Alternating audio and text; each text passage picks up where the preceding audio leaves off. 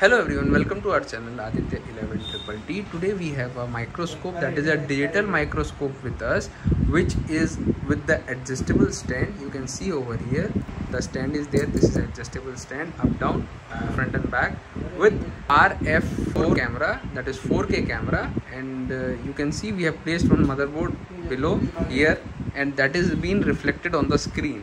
So you can see the screen is a kind of bit having a less light. So we are going to power on the light over here. That is the scope light. And you can see the clarity has been enhanced which is very important for any microscope for enhancing the clarity of the picture. So you can see over here we have placed and you can see all the detail of the pins which is very clearly visible over there on the screen.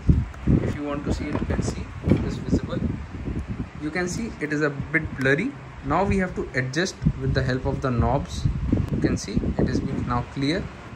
The clarity is very clear. So if you want to purchase this microscope and camera with light you can just contact us now on the number which is being displaying on the screen. This screen is not for sale. This is just for demonstration purpose. This screen is there for demonstration.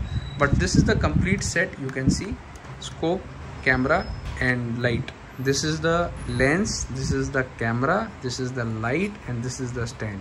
So if you want to purchase this complete set you can just contact us on the number which is being displayed on the screen. Thanks for watching our channel aditya 11 triple t. Thanks a lot